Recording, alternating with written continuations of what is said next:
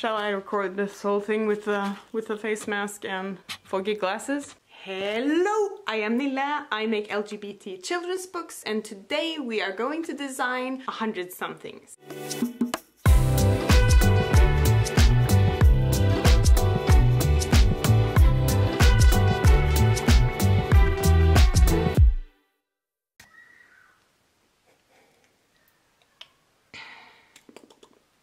This time guys we are going to draw the boy from the children's book that I make in this playlist. This video is part of a larger series called Let's Make a Book where you can follow me making this children's book about two dads and their little kids in the week before Pride. The thing about challenges is guys, if it kind of pressures you too much, just don't do it.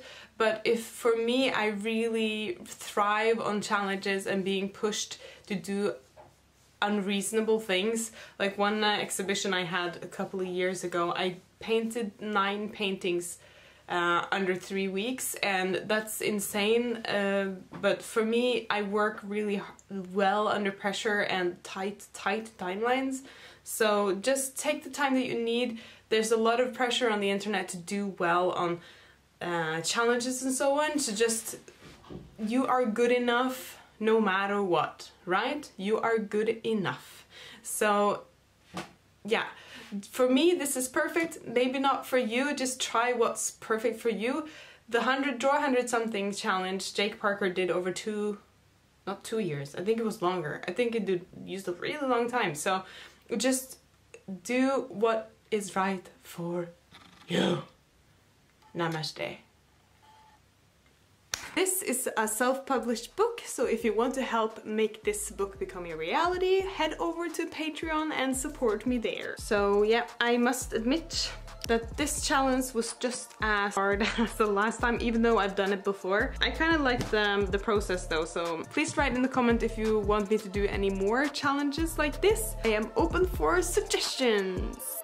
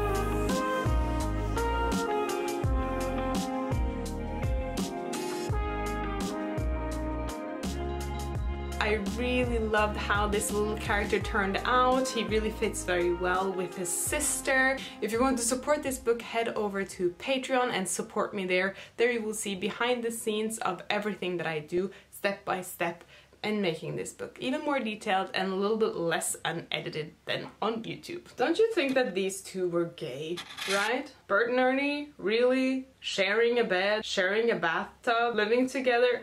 Thank you for checking out this video, you guys, and I'll see you next Saturday for another how-to video and Tuesday for another speed paint. Yay! Have a great day! Bye! Uh. Over go